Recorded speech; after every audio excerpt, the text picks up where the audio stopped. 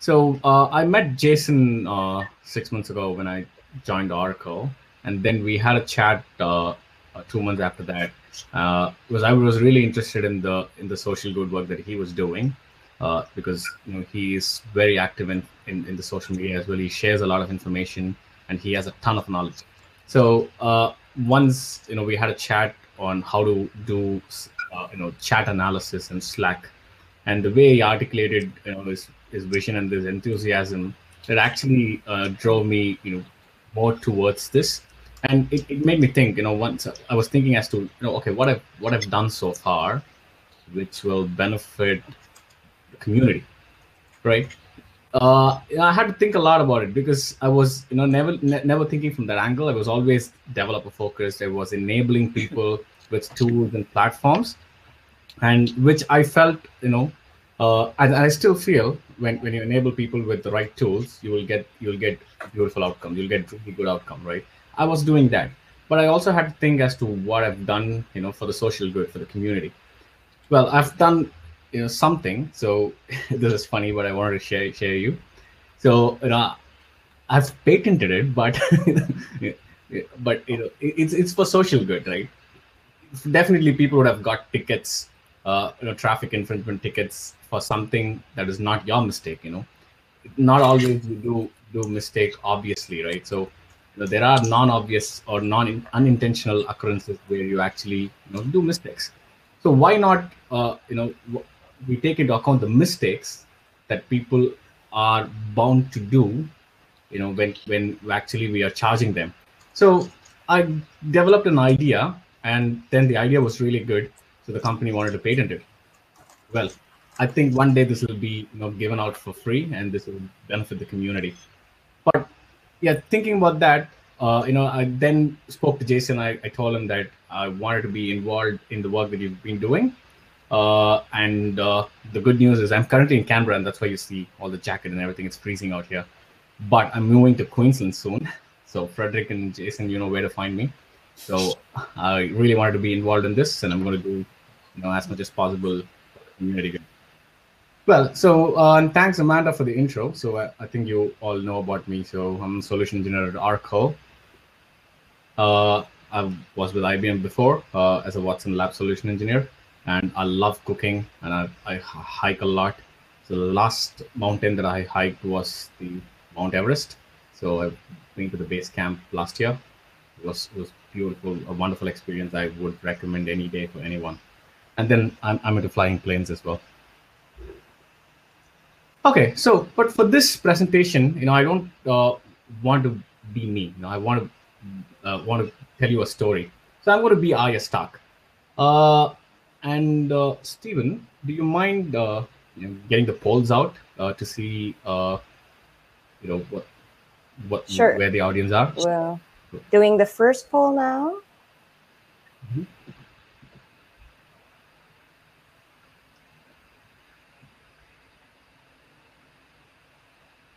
Up on the screen, where do data, data engineers or scientists spend most of their time in the data science lifecycle?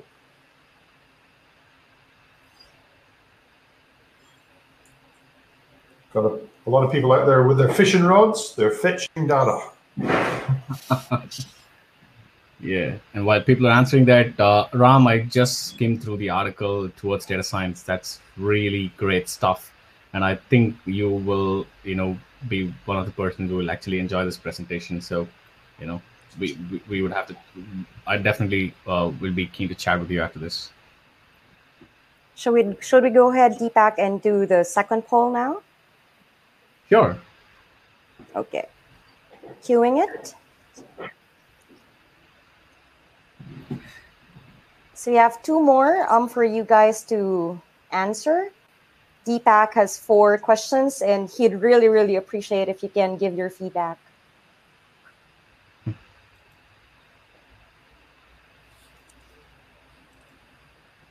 All right. So the first three polls are just for me to understand, you know, uh, what's, uh, you know, what's what and uh, what are you actually faced with. So it'll help me direct the uh, the talk accordingly. The last one is an interesting one, but I actually have re revealed the secret out already. I know I should have shown this slide. but yeah, it, we'll get that out. I'm starting uh, the third question or the third poll.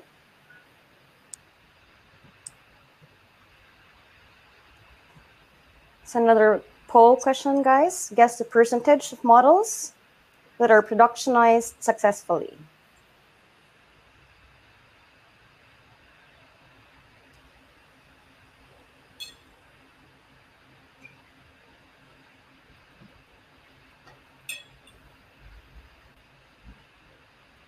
So far, Deepak, we have 15% is leading. Right. And that's the right answer. Nice. Well, that was a survey from. Yeah. All right, so I'm queuing the fourth poll question. And as Deepak said, this is a surprise. So hang on one moment. Here you go. I definitely wanted to know what the answer was to this one. so they But can yeah, relate to nice. Arya's talk. Yeah. And I'm happy- actually happy to uh, see that the audience is actually accepting with me because the 15% answer means that they know what the problem is out, you know, uh, problem out there is. so a majority may not be able to um, relate with Arya because Mm-hmm. majority has answered no. Oh, and have you watched Game of Thrones? That's amazing. That is incredible. It is, I it think- is awesome if, you, if you've got a spare six months up your sleeve. All right, so I'll give a brief overview. So Game of Thrones is, uh, you know, it's, it's one of the famous series out there, uh, you know, which is about war between thrones to and who gets the throne. And there's a lot of dragons there, so it's cool. And Arya Stark is actually a character played by a small girl who who skills herself up, who finds the right tools to actually skills, uh, you know, skill herself up, and uh, you know she always uh, analyzes and she takes the right step and she helps others as well as she goes along the journey so i, I just wanted to travel uh, in the, on the footsteps of Arya here you know just to make it a bit uh, engaging. So let's consider Arya as a manager of a data platform at Northwall Network you know. So if you if you can relate to Game of Thrones you know what Northwall is. But yeah just uh, imagining that here. Okay. So uh, just to set the stage up, what's data science? We know data science. We, we use scientific methods, algorithms, and, and programming uh, to actually identify patterns in data, right? So this, as opposed to uh, you know traditional software development, where you actually program, you know, an action. You say, okay, if this happens, uh, and this has to be the outcome. You know, you program it. You know what's going to happen for what whereas in data science you actually identify outcomes uh, patterns and then you model upon the patterns right so you know that's data science. And where is data science applied? You know we in our day-to-day uh, uh, uh, we face data science almost everywhere. Right from uh, you know churn modeling where you know customers will have to be retained with the company to recommendation engines if you want net if you watch netflix or amazon prime or if you're shopping anything online things are getting recommended to you. And even google has a lot of data science a lot of algorithms underneath the search so yeah we face data science you know on our day-to-day on a day-to-day basis but according to Arya, data science is chaos, right? So she feels winter is not the only thing that's coming. So there's a lot of chaos and that she needs to deal with. Why? Why does Arya say that? Because you know there are many many reasons for that. The first one is a lot of cloud providers out there. You need to choose the right one. You need to you know uh, analyze the tools, capabilities, and then there's a lot of data out there be it unstructured, structured, semi-structured. You know, we have moved out of. Uh, we, we, st- we still use a lot of relational data. It's still very powerful, but we have we have enhanced that with the concept of data lake, where we are capturing, you know, every possible data to actually do a 360 degree insight analysis. And then there are a lot of open source tools to do big data processing. You know, like Hadoop and Spark, predominantly used ones And then there are a lot of data science tools, which are also open source, you know, predominantly like Python R, scikit-learn, Pandas, TensorFlow, Keras.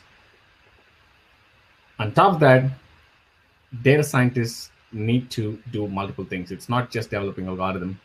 They should be good in stats, uh, math, and they should uh, know how to query databases, and they should also know domain knowledge and should be able to you know converse to the business, and they should also be able to provide good visualizations. So a combination of all these, and then there's definitely Excel, right? So yeah, this I mean this is just a joke.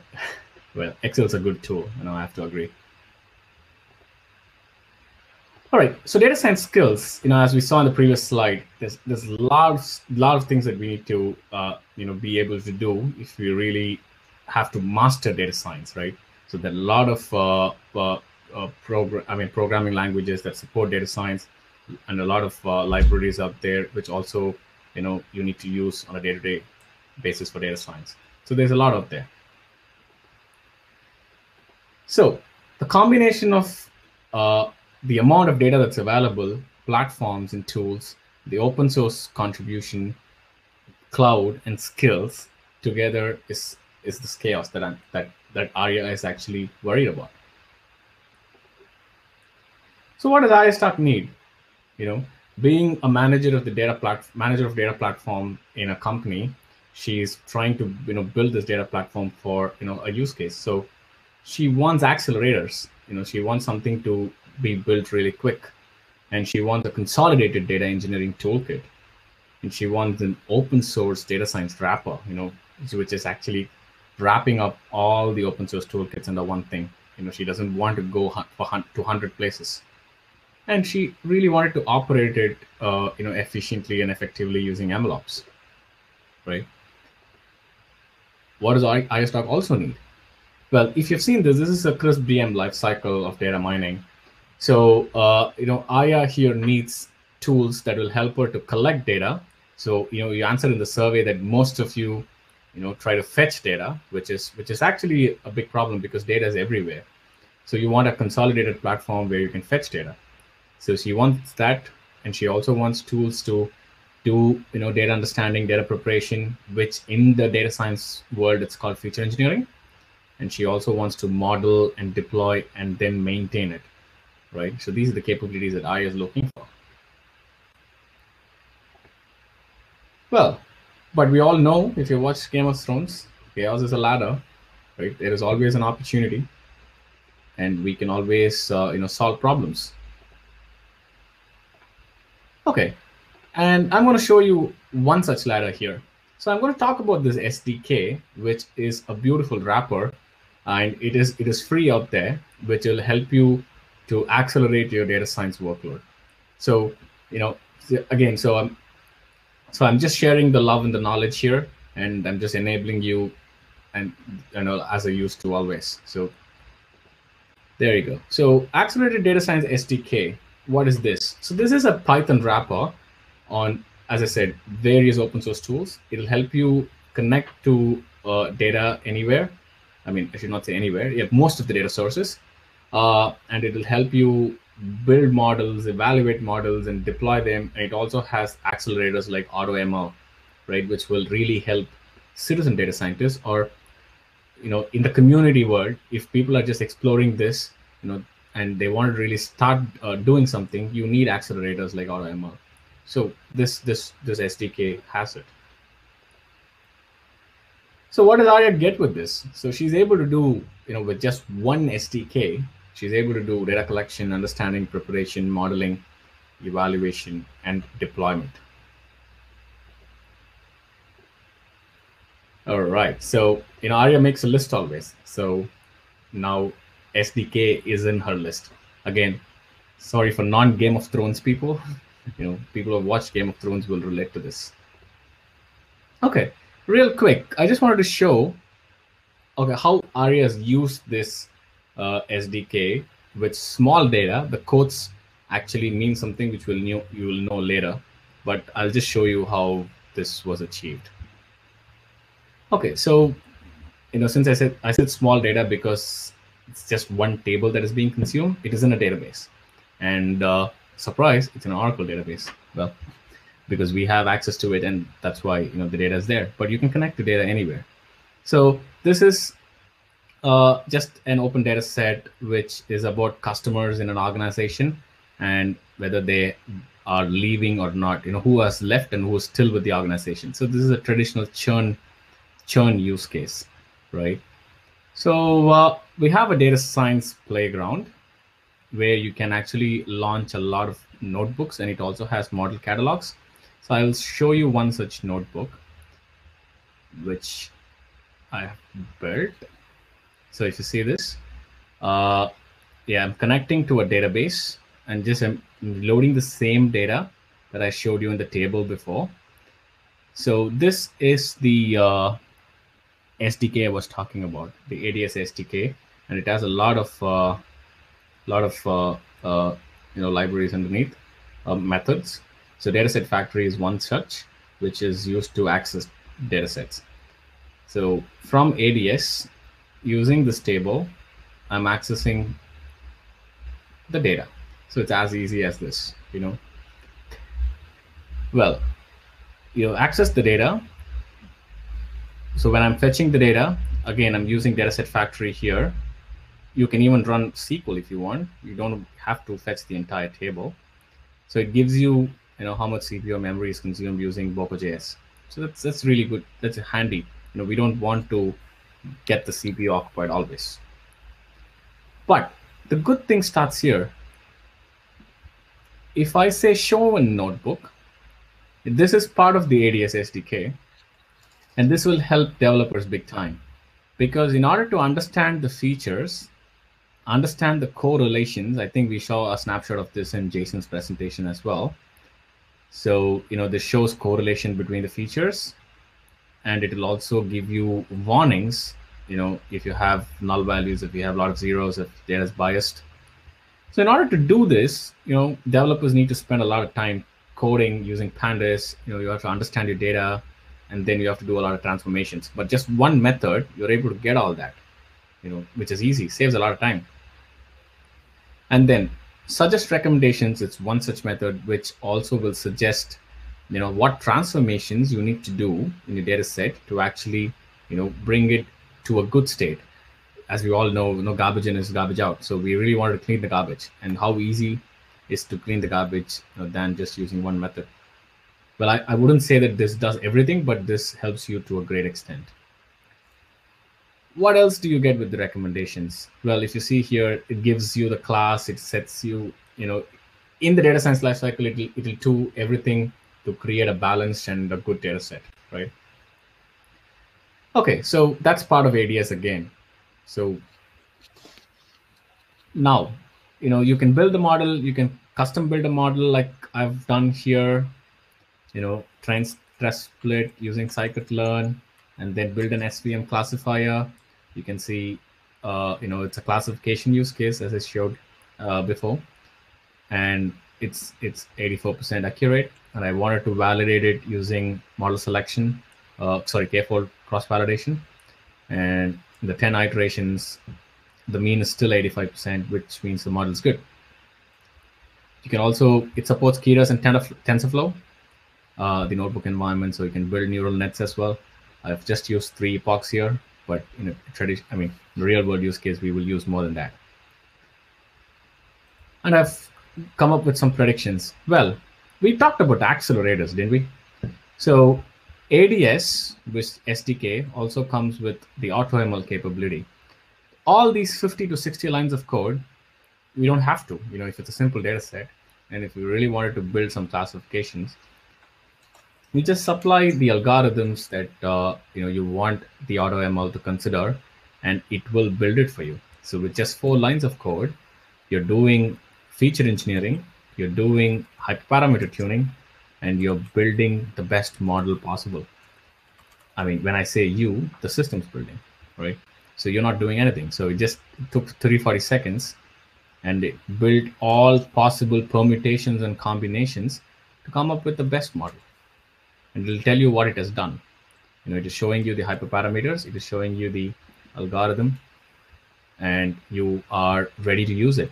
So see how this makes it easy and you know it is part of one wrapper. So now we have seen just one SDK, how it is used to connect to data sources, fetch data, transform data, and even build models, right? With just one SDK.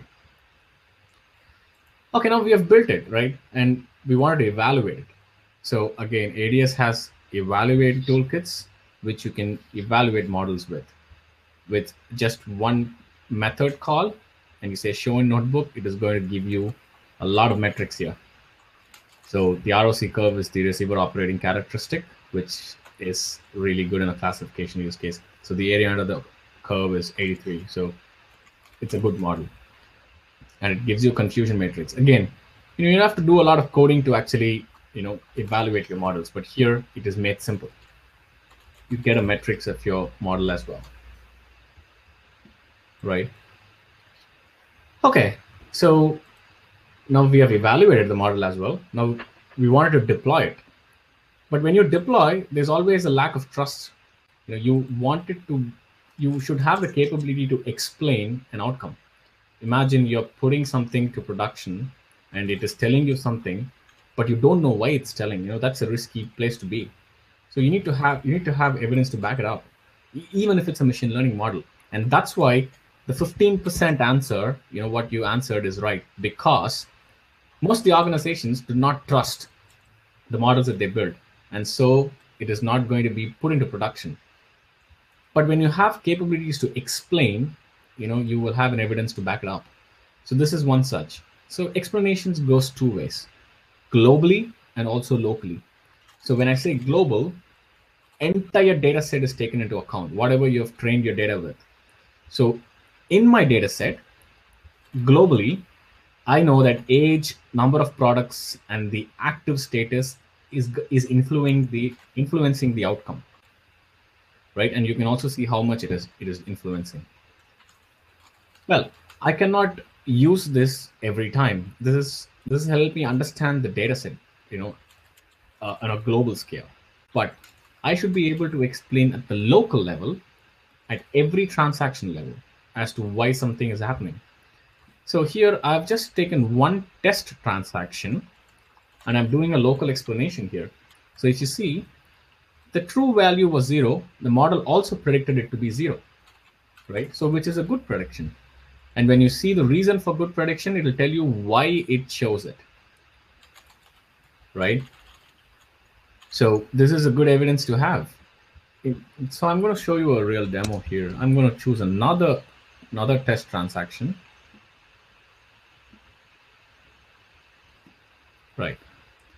Okay, so you see here the true value is one, but the model predicted it to be zero, which is a wrong prediction. This is this is something you know that I'm talking about. So when you put this in production, predict, uh, production, you really wanted to back it up, right? When if, if you're being asked. So now if you go to this, it says, okay, just because of age, I predicted it wrong, right? So these are these are things that you need to you know consider and tune your model with. So having this capability gives you the MLOps that actually organizations are lacking these days. So, you know, and again, this is part of one wrapper, which is making it really easy. Well, yeah. So that's how you know Arya has achieved a model with small data.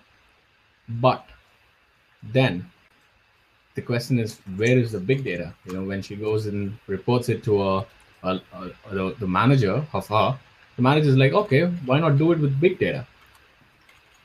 Okay, so big the big data is always uh, you know uh, good for data science, right? Because you get more data, you'll have better models. So when we deal with big data, we deal with three main things: data lake, predominantly in object store or Hadoop, and a compute engine, a distributed in-memory compute engine like Spark. Right. So Arya is not surprised, you know because she knows that she's going to face this. So what does Arya Stark need now? She needs to be able to process big data, but easily. So the theme here again is you know making things easy, right? When we make things easy, when we enable people with the right tools and platform, there will be good outcomes. There will be better community adoption. So Spark made easy is data flow, you know, which is a serverless Spark establishing a Spark cluster is a huge task. So when you saw Jason's presentation, he had a one node instance in his local machine to process the data. But if he had to do, imagine if he's going to do for the entire, if you if you want to process data for entire Australia or Australia New Zealand, one node machine is not going to help. You know, when we have the capability to do this easily and also big, we can do, you know, we, we can achieve good, you know, greater greater insights. So this is a serverless Spark instance where you just click of a button, you have a Spark cluster to access, right? And you don't have to set it up, you don't have to design it, but you have the elasticity. You can just scale it to as much as you want. Okay, now Arya's telling, all right, that's interesting. So Dataflow will also make my list now. So I'm going to show you another one as to how big data and data science, the perfect couple, are going to work with each other. So this is how it's going to look. I showed you the data science bit, but real quick in another two minutes, I'll show you how I'm handing off the big data workload to the serverless Spark called Dataflow, and then how I'm you know, building a machine learning model. Okay, so now you remember the quotes in the small data before? That's because of this. Because now Arya is tasked with building the model with big data. Okay, so it's the same data set, but instead of a database, now we are going to consume it from a data lake. And we're going to use object store as a data lake. So this is the object store. If I choose the right region, there you go. So you can see you know, it's just a bucketed store and I have only one CSV there. We're going to consume this. So yeah, same notebook interface. Uh, you know, instead of doing it in the notebook, I'm going to do it as a PySpark script, and I'm going to hand it off to the Dataflow instance. So if you see here, I've created an instance of Dataflow, and then I'm writing a bunch of code in PySpark but I'm storing it in this file, which is called the Dataflow handoff Python file, right? So same as before, but this is just the PySpark version. You know, I'm building a classification model, you know, traditional pipeline that you, you used to do in machine learning. Uh, but here I'm doing a logistic regression instead of an LGBM classifier, right? So once you once you do this, you save this by just calling the app you know, just the Dataflow create app method, your Python file is uploaded to an object storage bucket. Ta-da! And it comes here, know, it's a surprise. Right?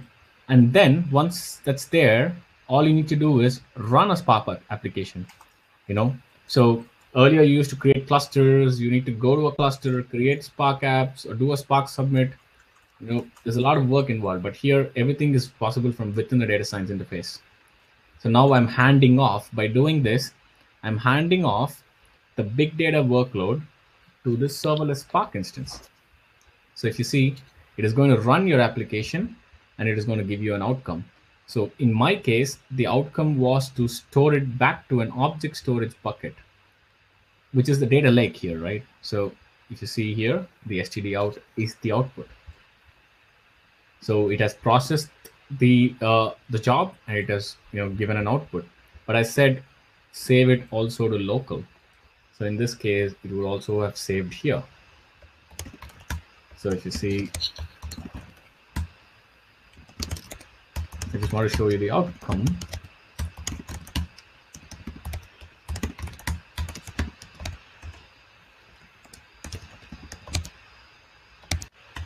There you go. So it was the same data set, but now it has prediction and the vector of features, and it also has the probability of prediction, right?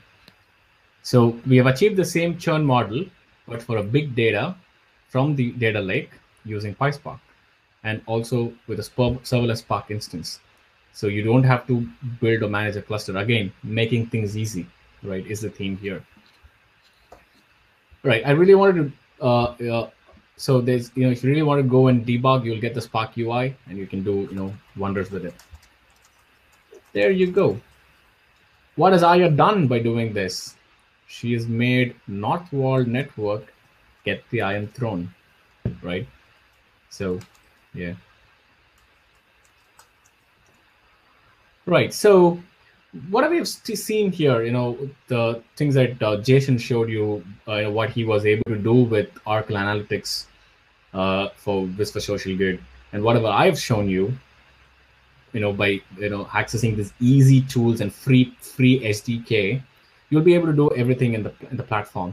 And if you're really interested to go and explore, you know, use this URL. I think it's also in the handout uh, that you'll get. So you'll be able to, you know, get a $500 free credit for the platform, and you know, use that for the community good.